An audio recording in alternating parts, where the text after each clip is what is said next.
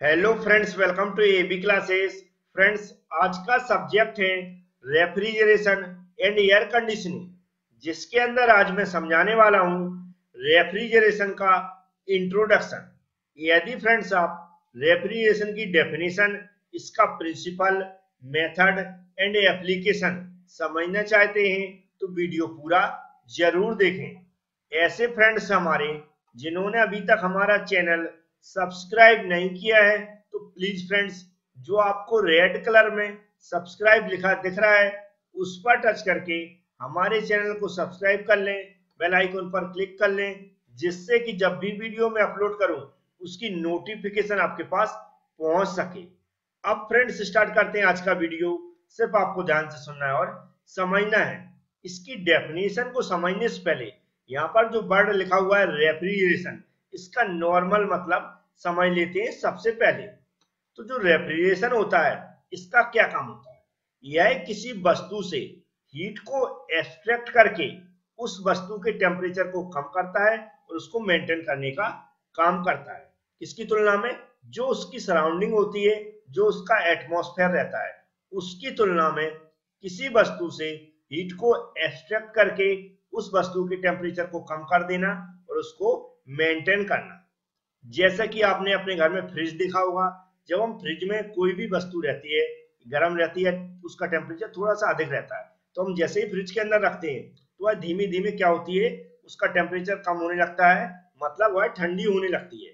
जबकि उसके बाहर का जो हमारा फ्रिज रहता है, उसके बाहर का जो टेम्परेचर रहता है, उसकी तुलना में कितना रहता है, अधिक रहता है। इसी तरह आप लोगों ने वाटर कूलर के अंदर देखा होगा, जब हम वाटर उसके अंदर भरते हैं या भेजते हैं तो उस टाइम उसका टेम्परेचर कैसा रहता है? अधिक रहता है। लेकिन कुछ देर बाद हम देखते हैं उसका टेम्परेचर कम होने लगता है, वह वाटर ठंडा होने लगता है, उसकी सराउंडिंग की तुलना। में ये होता है रेफ्रिजरेशन का काम।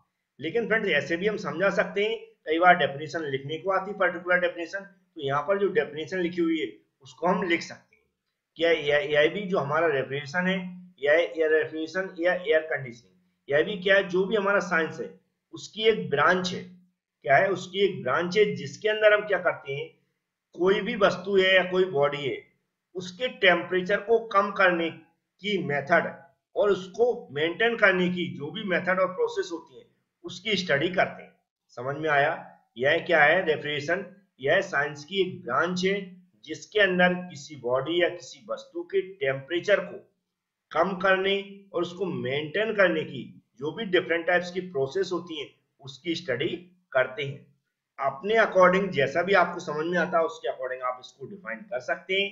लेकिन जब इसका प्रिंसिपल पूछा जाता है तो उसको कैसे लिखेंगे और उसको कैसे समझाएँगे, ये आगे समझते हैं। तो यहाँ पर इसका प्रिंसिपल लिखा हुआ है। इस डायग्राम थ्रू थोड़ा सा हम समझने की कोशिश करेंगे कि प्रिंसिपल किस तरह काम करता है। तो सबसे पहले मैं बता दूँ किसके प्रिंसिपल काम करता है। एक आता है थर्मल इक्विलिब्रियम के प्रिंसिपल थर्मल इक्विलिब्रियम आप लोगों ने पढ़ा होगा थर्मल के अंदर, जब मैंने समझाया था कि जब भी कोई भी दो बॉडी कांटेक्ट में आती है, इतनी दो बॉडी कांटेक्ट में आती हैं तो जिस बॉडी का टेम्परेचर अधिक रहता है, वहाँ से टेम्परेचर ट्रांसफ़र होता है किसकी ओर? लोअर बॉडी टेम्परेचर की ओर। मतलब जिस बॉडी का टेम्परेचर कम होता है, उसकी ओर हायर बॉडी का टेम्परेचर रहता है, जिस बॉडी का टेम्परेचर ज़्यादा रहता है, वहाँ से जिस बॉडी का टेम्परेचर कम होता है उधर की ओर क्या होती है? हीट ट्रांसफ़र होने लगती है। और जब तक ट्रांसफ़र होती रहती है, जब तक कि दोनों का टेम्परेचर एक समान नहीं हो जाता। जैसे कि जब भी आपने देखा होगा, किसी भी गर्म चीज़ को हम पकड़ते हैं तो क्या होता है? हमारा हाथ गर्म होने लगता है। मतलब पहले हमारे हाथ का टेम्परेचर कम था और उस रॉड का या किसी भी वस्तु का टेम्परेचर अधिक था। तो वहाँ से टेम्परेचर ट्रांसफ़र किधर होने लगा? हमारे हाथ की ओर। यह हम देखते हैं, जब भी हम किसी ठंडी वस्तु को पकड़ते हैं तो क्या होता है? हमें ठंडा लगता है। मतलब मेरे हाथ का टेम्परेचर अधिक होता है उस वस्तु का टेम्परेचर कितना होता है? कम होता है। लेकिन कुछ देर बाद देखते हैं हम धीमे धीमे उस वस्तु को हमें टेम्परेचर नॉर्मल लगने लगता है। क्यों? क्योंकि हमारे हाथ का जो टेम्परेचर अधिक था उसकी हीट ट्रांसफ़र होती है उस वस्तु में ठंडी वस्तु में जिसको हम पकड़े हुए। इस तरह क्या होता है? टेम्परेचर ट्रांसफ़र होता है higher body to lower body की। तो आपको समझ में आ, आ गया होगा इसी सिद्धांत पर हमारा जो फ्रिज होता है या रेफ्रिजरेटर होता है काम करता है। इसके अंदर हम यूज़ करते हैं रेफ्रिजरेंट। क्या करते हैं? रेफ्रिजरेंट यूज़ करते हैं। जो कि, जो होता है, जो पूरा सिस्टम होता है फ्रिज का, जो अभी मैं समझाने वाला होता है समझाने वाला हूँ, उसके अंदर क्या होता है उसका जो कंपार्टमेंट रहता है उसके अंदर मूव होता है। या सराउंडिंग उसके अंदर क्या होता है? ऐसा ही सर्कुलर सर्कुलेट होता रहता है। जब सर्कुलेट होता है तो उसके अंदर जाता है तो जो भी हम वस्तु रखते हैं, उसकी जो हीट फ्लो होती है, उसको रिसीव करता है। क्योंकि जो हमारा रेफ्रिजरेंट रहता है उसका टेम्परेचर कम होता है और जो हमारी इसके अंदर एयर होती है, उसका टेम्परेचर अधिक होता है। तो उसकी हीट को रिसीव करके क्या करता है? बाहर रिजेक्ट करता है। इसी तरह क्या होता है? ये हमारी जो भी वस्तु है, ठंडी होती रहती है। इतना समझ में आ गया होगा, नहीं समझ में आया तो इस डायग्राम के थ्रू थोड़ा सा मैं अच्छे से समझाने की कोशिश कर रहा हूँ। विथ कंपोनेंट तो आपको अच्छे से समझ में आ जाएगा। यहाँ पर आपको दिख रहा होगा, ये हमारा पूरा फ्रिज दिख रहा होगा, जैसा आपके घर पे होता है। इसी के थ्रू समझ, समझने की कोशिश करते हैं पूरे प्रिंसिपल को।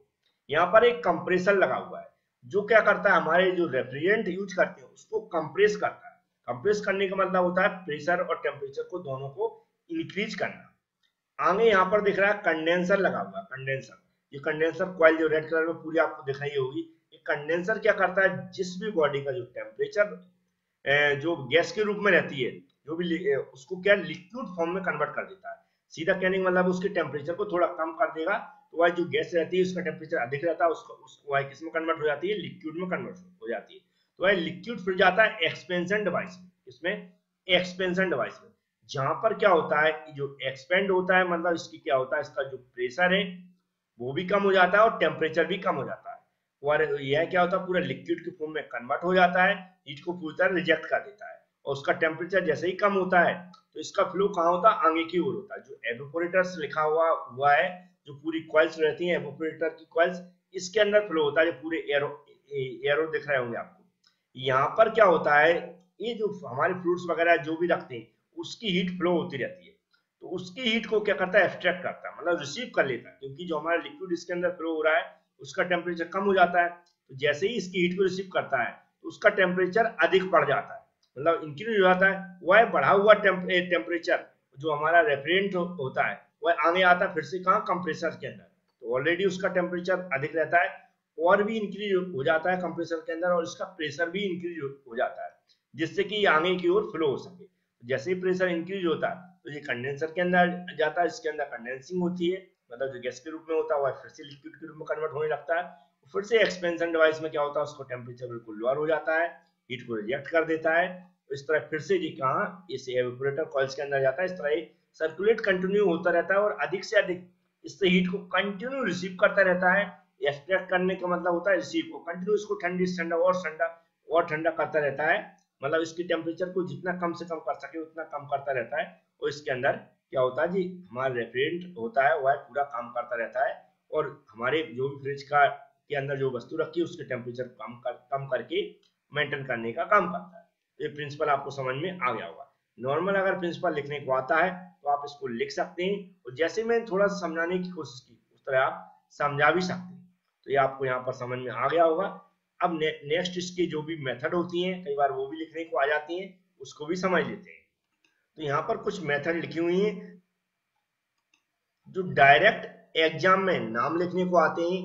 यदि फ्रेंड्स आप इनमें से कोई भी ऐसी मेथड है जो एक्सप्लेन करने को आती है तो उसके ऊपर में पर्टिकुलर वीडियो बनाएँ बनाएँगे। अभी सिर्फ़ इसके नाम देख लेते हैं, क्योंकि ये डायरेक्ट इसी तरह लिखने को, एक दो बार, तीन नंबर में या दो नंबर में पूछी जाती है। इसके आइस रेफ्रिजरेशन है ड्राई आइस रेफ्रिजरेशन है लिक्विफाइड गैस रेफ्रिजरेशन है स्टीम जेट रेफ्रिजरेशन है एवोपोरेटिव रेफ्रिजरेशन है रेफ्रिजरेशन बाय थ्रॉटलिंग है वेपर कंप्रेशन रेफ्रिजरेशन है वेपर एब्जॉर्प्शन रेफ्रिजरेशन है, और जो रेफ्रिजरेशन बाय एक्सपेंशन और कंप्रेशन गैस है या एयर की इनके नाम डायरेक्ट लिखने को आ जाते हैं जैसे मैंने बताया कि जो भी इंपॉर्टेंट होंगी उनको मैं समझाऊँगा पर्टिकुलर उनके ऊपर वीडियो बनाएँगे। लेकिन अब इसकी एप्लीकेशन को समझ लेते हैं। एप्लीकेशन भी कई बार लिखने को आ जाती है। तो यहाँ पर जो एप्लीकेशन लिखी हुई इन सबको आप नॉर्मल जानते हैं। जैसे कि यहाँ पर एक कंपनी एयर कंडीशनिंग के रूप में जो भी हमारे बिल्डिंग्स वगैरह रहती हैं हॉस्पिटल्स वगैरह रहते हैं होटल रहते हैं, जो भी हमारे सिनेमा हॉल्स रहते हैं, सभी मैक्सिमम जगह अपने घरों में भी हम क्या करते हैं एयर कंडीशनिंग के रूप में यूज़ करते हैं। या अब इसकी बात करें पानी ठंडा करने के लिए तो हम जानते हैं नॉर्मल हमारा जो वाटर कूलर होता है, उसमें पानी ठंडा करने के लिए यूज़ करते हैं। इसके अलावा आइस मेकिंग का कहीं कई जगह काम पड़ता है, जो भी हमारा बर्फ़ वगैरह जहाँ यूज़ होता है, वहाँ पर आइस मेकिंग के लिए यूज़ किया जाता है। जो भी हमारे खाद्य पदार्थ रहते हैं, जो भी हम खाते पीते हैं, उनको हम फ्रिज में रख के क्या कर सकते हैं? ठंडा कर सकते हैं, उनका टेम्परेचर कम कर सकते हैं ईट को रिएक्ट कर सकते हैं। बहुत सारे यहाँ पर फ्रूट्स के या जो एग्ज़ाम्पल के रूप में रूप में लिखे हुए हैं इनके। ऐसे हम क्या करते हैं इंडस्ट्रीज़ में करते हैं, बहुत सारे ऐसी वस्तुएँ हैं जिनको हमें क्या करना पड़ता है? स्टोरेज करके रखना पड़ता है ठंडी जगह पर। तो वहाँ पर भी हम इसका यूज़ कर सकते हैं। इस तरह मेडिकल क्षेत्र में भी देखेंगे, वहाँ पर भी हमें ब्लड वगैरह या जो भी वस्तुएँ हैं, ऐसी चीज़ें जो हमें बिल्कुल कोल्ड स्टोर में रखना पड़ती है, वहाँ पर भी हम इसका यूज़ करते हैं। तो नॉर्मल एप्लीकेशन आप अपने मन से भी लिख सकते हैं। यहाँ पर कुछ लिख दिए हैं जिसको आप पढ़ के समझ सकते हैं। फ्रेंड्स मैंने नॉर्मल इंट्रोडक्शन समझाने की कोशिश की है। इंट्रोडक्शन के अंदर कौन कौन से क्वेश्चन आ सकते हैं, वो मैंने बता दिए, जैसे कि नॉर्मल डेफिनेशन लिख के, उसका प्रिंसिपल भी समझाना आ सकता है। तो प्रिंसिपल को आप समझा सकते हैं डेफिनेशन को भी समझा सकते हैं मेथड को भी समझा सकते हैं और एप्लीकेशन को भी समझा सकते हैं। तो ये दो तीन तरह के जो क्वेश्चन पूछे जाते हैं इंट्रोडक्शन से रिलेटेड वो मैंने बता दिए अब नेक्स्ट वीडियो में लेकर आऊँगा, इससे रिलेटेड कंटिन्यू पूरा सिलेबस करवाने की कोशिश करूँगा। फ्रेंड्स यदि वीडियो जब भी पसंद आता है तो उसको लाइक और शेयर ज़रूर करें। Thank you friends